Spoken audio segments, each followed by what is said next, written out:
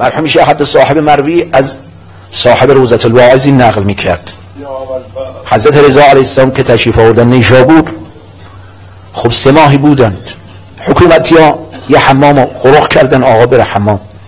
همه رو بیرون کردن از حمام. نگهبان بیرون در گذاشتن. مثلا ولی عهد آقا و حال که سلطان السلاطینه یه مردی از دهات نیشابور بود و این تو خزانه بود گرمخانه بود ندیدنش سربازا خود رفته به زیر آب.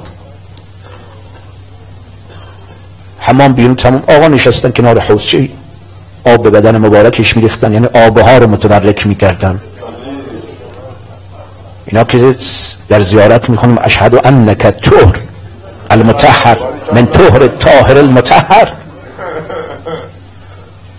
این مرد از حمام اومد از خزانه اومد بیرون شروع که خواروندن بدنش. دلاک نداره اینجا. آقا فرمودن می‌خواد چیکار کنی می‌خوام کیسه بکشم. نمی‌شناسه آقا رو. حضرت حال بیا بشین من بکسم پشت حضرت نشست. فتال از القاب بلبله که به دست دشمنان اهل بیت شهید شده در نیشابور دفن قبرش پیدا نیست.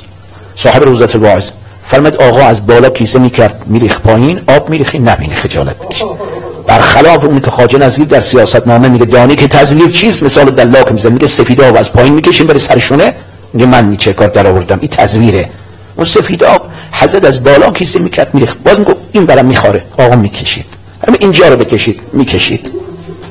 همزمان با این کیسه کشی چند تا از محدثین شیعی نیشابور تو حمام دیگر سر تراشیدن غسل زیارت کردن لباس احرام حجاج پوشیدن. پا برهنه آمدن به زیارت علی ابن موسی علیه السلام. بزرگان شهر بودن راه رو باز کردن. گرمخانه و مسلخ و جای لباس می‌کنن مسلخ می‌گفتن. وارد گرمخانه شدن دست به سینه السلام علیک یا ولی الله السلام علیک یا حجت الله السلام. این مرد دهاتی دید که جز این این آقا که کیسه می‌کشید کسی نیست. ایشون پاشو گفت علیکم السلام و رحمت الله برکات. گفتید من هازا بودن علی ابن موسی سلام کی این آقا؟ افتاد به پای حضرت. آقا ازن قد کفر تو امامم پشت منو کیسه بکشه. پشت به شما نشستم من. حضرت فرمود مؤمن پشت قریب بذار کارمو بکنم چی گفت؟ گفت آقا یک هفته از تو راهم زن و بچه رو تو کوهستان گذاشتم باغ و همه رو. شنیدم شما وارد شهر شدید. اومدم به زیارت شما.